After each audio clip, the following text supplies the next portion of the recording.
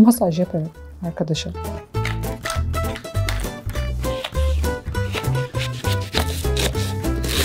Kanalın müdavimleri tahmin ediyor olabilir. Şimdi Hatice bunu böyle dedi ama muhtemelen birazdan kendisi de koyar.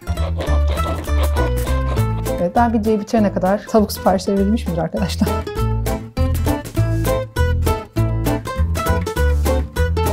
Portakal ağacına hoş geldiniz. Portakal ağacı bugün sizlerle gene sizin seçtiğiniz, sizin istediğiniz bir tarif yapacağız. Bana dediniz ki Hatice abla bir tane şöyle güzel tavuklu bir tarif yap. Peki baktım bloga tavuklu nelerimiz var diye. Aklıma en meşhur olan, en böyle havalı ve lezzetli duran tarif fırın poşetinde limonlu tavuk tarifi geldi. Sene 2007 mi acaba? Galiba 2007'den bir tarif. O zamanlar böyle her eve misafirliğe gelene bu tarifi yapıyordum. Çok beğeniliyordu, çok güzel oluyordu. Bugün işte sizlerle o tarifi tekrardan yapacağız. Nelerimiz lazım? Bir tane büyük tavuğumuz var. Biz organik bir tavuk aldık. 3-4 dal yeterli ama taze otlarımız var. Kekik olur, biberi olur, reyhan olur. Bir tane limonumuz var. 2 tane kuru soğanımız var. Birazcık böyle bu ne kadar? Üçte bir su bardağı kadar unumuz var, zeytinyağımız, tuzumuz ve karabiberimiz var. Nasıl yapacağız? İlk önce tavuğu bu işlemlere başlamadan yarım saat önce buzdolabından çıkartın ki önemli olan oda sıcaklığına gelmiş olması. Oda sıcaklığına geldikten sonra güzelce yıkıyoruz. Yıkadıktan sonra üzerinde hiç su kalmayacak şekilde kurulamamız lazım. İyice daha aşamalara başlamadan bile tavuğun her tarafını kurulayacağız ki nemli nemli kalsın istemiyoruz. Bu aşamada kalan bir şeyler varsa onları temizleyeceğiz. Koyduğum tahtayı da temizliyorum ki çevirdikçe tekrardan ıslatmasın diye. Yani bu aşamada çevirirken bir yandan altındaki tahtayı da kurulamaya özen gösterebilirsiniz. Her tarafını kuruladım. Ondan sonra güzelce zeytinyağı süreceğim. Zeytinyağını sürmemdeki bir detay var. Genelde işte tavuğun üstüne, içine sürersiniz. Ama biz daha da lezzetli olsun diye derisini kaldıracağız. Elimizle. Burada tereyağı da sürebilirsiniz. Ben zeytinyağı süreceğim. Birazcık zeytinyağını alıyorum. Elinize dökerseniz daha da iyi oluyor. Masaj yaparım arkadaşa. Çeviriyorum. Burayı da açacağım. Ne kadar iyi yağlarsanız o kadar lezzetli olduğunu fark edeceksiniz. Gidebildiğim kadar ileri gidiyorum.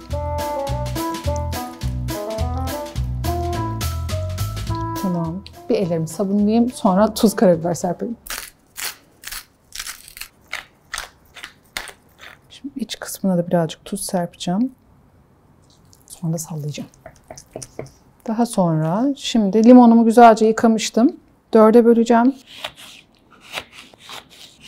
Dilerseniz limonun kabuğunu soyup da kullanabilirsiniz. Önce kaç tane atayım? 3 tane limon dilimi attım. Hiç bölmeden de koyabilirsiniz ama ben iyice her tarafa değsin diye 3'e kesip kullanıyorum. Enfes bir şey oluyor böyle limonun ekşiliğiyle o kekiğin aroması tavuk etiyle birleşince ortaya çok güzel bir lezzet çıkıyor. Dilerseniz içine sarımsak ya da minik minik arpacık soğanlar da koyabilirsiniz. İyice ittiriyorum ki alabildiği kadar çok limon alsın diye. Peki ne kaldı malzemelerden geriye? Un var ve soğan var farkındaysanız kullanmadığım. Onları da işte fırın poşeti için kullanacağım. Tamam şimdi soğanı doğrayacağım. Unu bir fırın poşetiyle hafifçe bir çalkalayacağım ki yapışmasın tavuk diye. Ondan sonra son aşama. Ben daha rahat hareket edebilmek için fırın poşeti alırken en büyük boy yani sanırım bir hindi boyu gibi bir boyu var. Onu da alıyorum. Daha rahat ediyorum. İyice bir sallayacağım. Şimdi bunu dökeceğim. Bunu döktüm. Tavuğum hazır. Şimdi tavuğu şöyle bir kenara alayım. Çünkü soğanları doğrayacağım. Soğanlar tavukların altında böyle bir yatak olacaklar.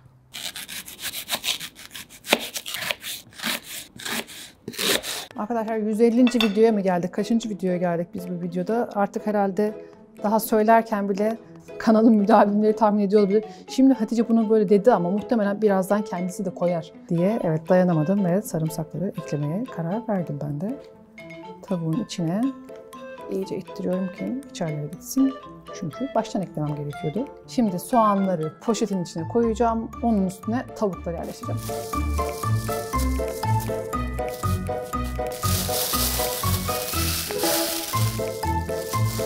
Bir iki yerinden deleceğim ki patlamasın diye pişerken hava çıksın diye. Tamam. Şimdi genel yıkayalım. Ondan sonra bunu artık fırına koyalım. 220 derecede önden ısıtmıştık. Burada artık iyice nar gibi kızarana kadar pişireceğiz. Bir yarım saat sonra bakalım ne aşamada olduğuna. 37 dakika sonra. Ondan sonra tekrar konuşuruz.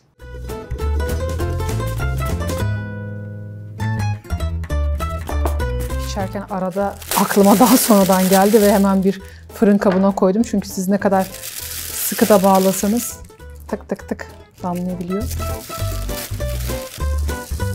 Soğanlar da iyice karamelize olmuşlar. Şöyle her tarafına yayalım. Artık ayrılıyor derisinden.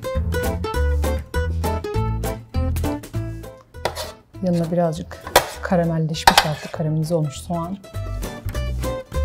Bir de ben içindeki limonlardan da koymayı seviyorum. Böyle bir limon kokusu geliyor etin kendisinden.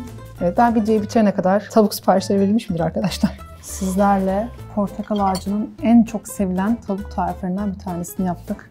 En detaylandırdığım yemek tarifi olabilir mi? Çünkü çok güzel pişmiş. Ne yapabilirim? Denerseniz şimdiden afiyet olsun. Biz burada kesip yemeğe geçebiliyor muyuz? Tamam, kısaca bitiriyorum. Haftaya ya da daha yakın bir zamanda tekrardan yeni bir tarifte görüşebilmek dileğiyle. Şimdiden afiyet olsun.